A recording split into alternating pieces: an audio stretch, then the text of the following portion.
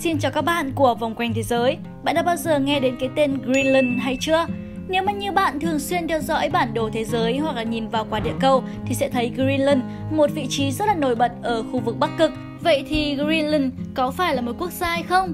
Greenland có điều gì thú vị và hành trình đến với Greenland sẽ mang lại cho bạn những trải nghiệm nào?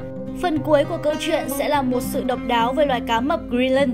Loài cá mà nếu bây giờ bạn gặp một con đang đạt đỉnh về khả năng sinh dục, nghĩa là nó đã được sinh ra trước khi cả tháp Eiffel được xây dựng. Và nếu bây giờ bạn có đến Greenland, chẳng may gặp một con cá mập đó thì đó có thể là con cá mập sống từ thế kỷ thứ 16. Hãy cùng bắt đầu với câu chuyện về Greenland. Đầu tiên phải khẳng định Greenland là hòn đảo lớn nhất thế giới. Greenland có diện tích là gần 2,2 triệu km vuông và có khoảng 80% trong số đó là băng bao phủ. Greenland nằm giữa Đại Tây Dương và Bắc Băng Dương.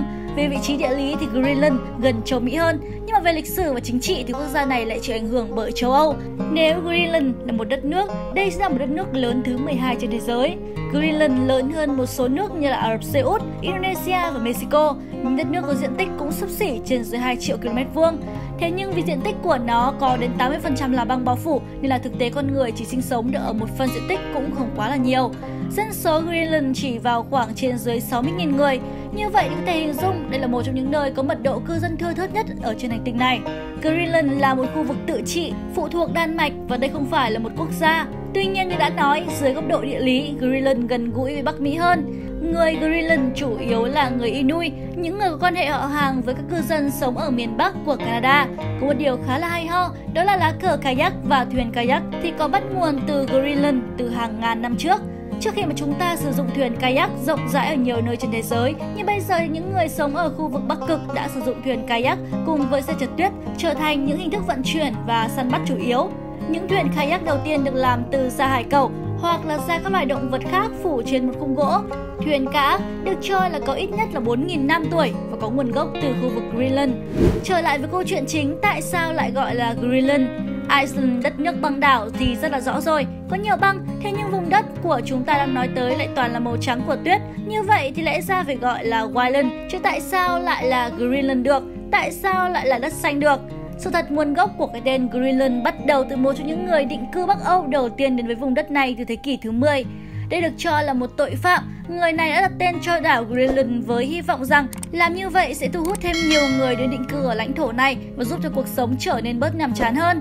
Để nói về lịch sử, còn xét trên về vấn đề địa chất thì có khoảng 2,5 triệu năm trước, Greenland thực sự là một vùng đất xanh tươi, một vùng đất mà cây cối và các loài động thực vật thực sự là phát triển.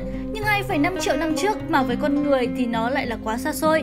Bởi vậy nên Greenland vẫn sẽ là khái niệm về một vùng đất của những sự hy vọng. Về mặt địa lý của Greenland, thì có một tảng băng khổng lồ bao phủ hầu hết Greenland, trong khi Greenland có diện tích là gần 2,2 triệu km vuông, bao gồm các đảo nhỏ ngoài khơi, là bằng bao phủ có tổng diện tích đến 1,8 triệu km vuông. Điều đó có nghĩa là chỉ có khoảng hơn 350.000 km vuông ở Greenland là không có băng mà thôi. Tảng băng này đã bao phủ những phần lớn của bờ biển Greenland trong khoảng 2 đến 3 triệu năm. Ở phần riêng của nó thì tảng băng chỉ dày vài mét, nhưng điểm dày nhất có thể là nó dày đến 3,2 km. Băng Greenland chiếm khoảng 10% lượng nước ngọt trên thế giới. Tuy nhiên, do hiện tượng ấm lên toàn cầu nên băng ở đây đang tan chảy với cái tốc độ siêu chóng mặt. Trên thực tế thì các nhà nghiên cứu tin rằng mỗi năm khối lượng băng tan ở Greenland mất đi nhiều hơn khối lượng băng được tạo ra. Băng Greenland tan chảy nhanh hơn đã góp phần làm tăng mực nước biển. Về lý thuyết thì nếu toàn bộ băng tan chảy ở Greenland, mực nước biển trên toàn cầu sẽ tăng từ 6 cho đến 7 mét. Phần lớn địa hình của Greenland là bằng phẳng nhưng cũng có những vùng núi ở trên biển. Ngọn núi cao nhất ở đây có độ cao là 3.700m so với mực nước biển. Nhiệt độ ở Greenland thì đương nhiên là rất lạnh rồi. Ngay cả vào mùa hè thì khu vực nhiệt độ cao nhất cũng chưa đầy 10 độ C và vào tháng riêng, nhiệt độ thấp nhất trung bình là âm 10 độ C. Hãy điểm qua một chút về câu chuyện lịch sử của Greenland. Người ta tin rằng những cư dân đầu tiên của Greenland đến từ Bắc Mỹ đã định cư trên đảo từ 4.000 năm trước công nguyên. Và hầu như những người hiện tại của Greenland có thể là dòng dõi tổ tiên của nhóm những người Bắc Mỹ. Đến cuối thế kỷ thứ 10 thì những người châu Âu đầu tiên đã đến với Greenland. Họ là những người Bắc Âu đến từ Ireland, định cư một phần của phía nam của hòn đảo này, nơi trước đây không có người ở. Tuy nhiên, do khí hậu nên là người châu Âu đã dần rời đi vào thế kỷ thứ 15 để trở về với khu vực Bắc Âu bây giờ vốn dễ chịu hơn. Người châu Âu sau đó đã không quay trở lại với Greenland cho đến những năm đầu thế kỷ 18 khi mà một công ty thương mại hoàng gia Greenland của Đan Mạch thành lập một thuộc địa trên đảo. Tuy nhiên, Greenland không chính thức trở thành một phần của Đan Mạch cho đến tận năm 1953 khi mà người Đan Mạch đã sửa đổi hiến pháp của họ để hợp chất hóa hòn đảo và trao cho cư dân của hòn đảo này quyền đại diện cho quốc hội của Đan Mạch và từ đó đến nay thì Greenland chính thức là một phần của Đan Mạch. Vậy thì con người ở Greenland sinh sống như thế nào? Mặc dù Greenland là một nơi rất là lạnh để mà sinh sống nhưng mà người Greenland đã rất là quen với điều này. Đó là những người Inuit, họ đã sống ở vùng khí hậu lạnh giá của Greenland và Canada trong nhiều thế kỷ. Khoảng 12% dân số Greenland là những người gốc châu Âu, chủ yếu từ Đan Mạch. Greenland có tổng dân số như đã nói là chỉ khoảng trên dưới 60.000 người mà thôi. Ngoài ngôn ngữ bản địa ra thì tiếng Anh được giảng dạy và sử dụng rộng rãi trong các trường học của Greenland. Xét về văn hóa thì Greenland là sự kết hợp giữa văn hóa của người bản địa, đó là văn hóa của người Inuit và văn hóa Đan Mạch. Có một truyền thống đó là người Greenland tận hưởng khoảng thời gian được gọi là mặt trời lúc nửa đêm. Khoảng thời gian này diễn ra từ ngày 25 tháng 5 đến ngày 25 tháng 7.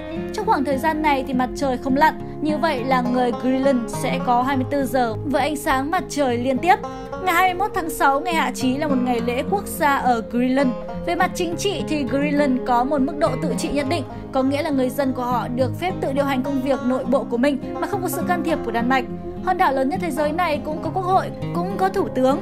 Người Greenland ủng hộ việc biến Greenland trở thành một quốc gia độc lập, nhưng mà vấn đề này liên tục đã bị phủ nhận bởi Đan Mạch.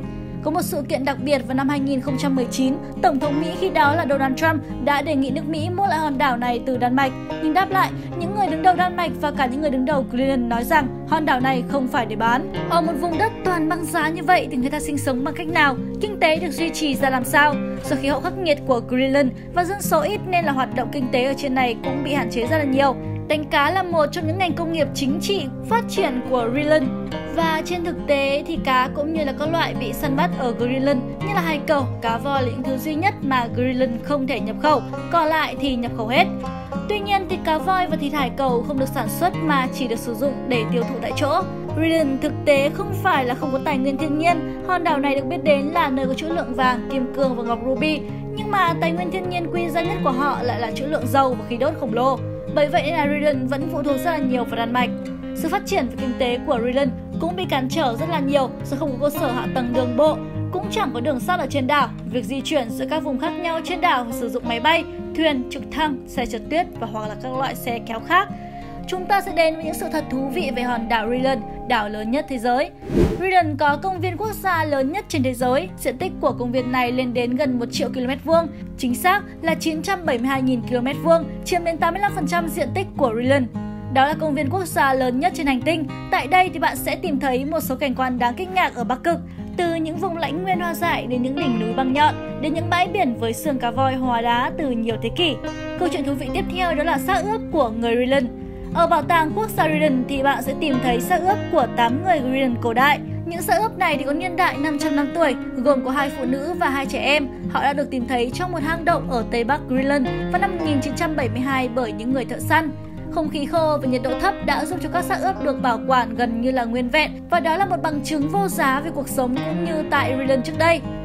Greenland thì những ngôi nhà được mã hóa màu. Mã hóa màu có thể được hiểu là mỗi ngôi nhà sẽ mang một màu sắc riêng biệt và mang đến một thông điệp khác nhau. Trước đây, những người Inuit Greenland sống trong những túp lều được làm bằng những cái vật liệu như là xương và lông thú. Nhưng mà khi những người tới từ châu Âu đến thì họ đánh dấu thuộc địa mới bằng nóc tòa nhà làm bằng gỗ với nhiều màu sắc khác nhau, mang hơi hướng kiến trúc của khu vực Bắc Âu. Ví dụ như những tòa nhà, những túp lều màu vàng có nghĩa là nơi cung cấp y tế. Những nhà của những người buôn bán thì có màu đỏ, nhà của ngư dân thì có màu xanh lam và bạn cứ hình dung ở một vùng đất rộng lớn lạnh lẽo như vậy giữa tuyết trắng. Nếu mà bạn cần sự trợ giúp, chỉ cần nhìn vào màu sắc của từng ngôi nhà sẽ biết mình cần gì và ai thì có thể giúp được mình. Và phần cuối cùng sẽ là câu chuyện đầy thú vị về loài cá mập Greenland. Cá mập Greenland là một trong những loài cá mập săn mồi lớn nhất trên hành tinh. Khi trưởng thành thì nó đạt chiều dài khoảng 2 mét và nặng khoảng 1 tấn. Một con cá mập Greenland điển hình dài từ 2m4 cho đến 4m8 và nặng gần nửa tấn. Cá mập Greenland được nhìn thấy khá thường xuyên ở khu vực Bắc Băng Dương. Chúng được tìm thấy ở vùng nước đóng băng có nhiệt độ thay đổi từ âm 2 cho đến âm 7 độ C và đạt độ sâu tối đa khoảng 2.200 mét. Trong những tháng mùa hè thì cá mập Greenland sẽ di cư đến những vùng sâu hơn của đại dương. Để mà tìm được những cái vùng nước lạnh và trong mùa đông thì những con cá mập này di chuyển gần mặt nước nhiều hơn. Cá mập Greenland là một trong những loài cá mập chậm nhất có tốc độ bơi thấp nhất. Theo ước tính thì tốc độ bơi của chúng chỉ vào khoảng là 1,22 km một giờ và tốc độ bơi nhanh nhất của chúng thì là vào khoảng 2,6 km một giờ. Chúng ta đi bộ còn nhanh hơn. Các nhà khoa học tin rằng việc những con cá mập này di chuyển với tốc độ thấp như vậy nó sẽ giúp cho sự trao đổi chất diễn ra chậm và tuổi thọ của chúng sẽ cao hơn.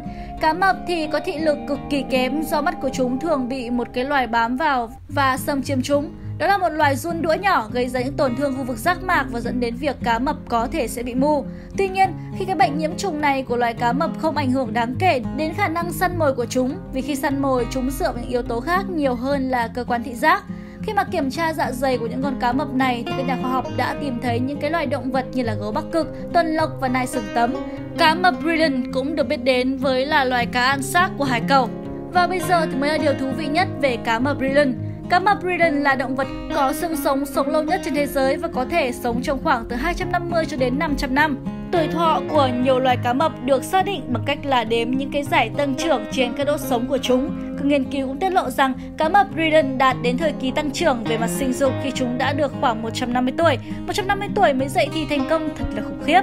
Và có một câu hỏi thú vị đã được đặt ra là cá mập này sống lâu như vậy thịt của chúng có ăn được không? Câu trả lời là thịt này ăn được nhưng mà phải trải qua những cái chế biến phức tạp bởi vì thịt cá mập này có độc, ăn quá nhiều có thể dẫn đến tình trạng là co giật và tử vong. Những người định cư ban đầu Ireland và Riden đã tìm cách để giải quyết vấn đề này.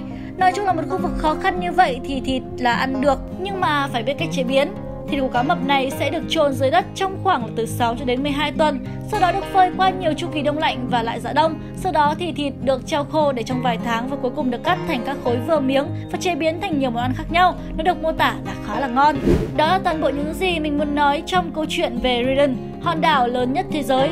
Và chắc hẳn bạn cũng đã có câu trả lời cho mình là riden có phải là một đất nước, có phải là một quốc gia hay không? Cảm ơn các bạn vì đã xem video. Nếu cảm thấy thú vị, đừng quên nhấn nút đăng ký kênh, bật chuông thông báo và chia sẻ để ủng hộ cho vòng quanh thế giới nhé. Còn bây giờ thì xin được nói lời chào tạm biệt và hẹn gặp lại.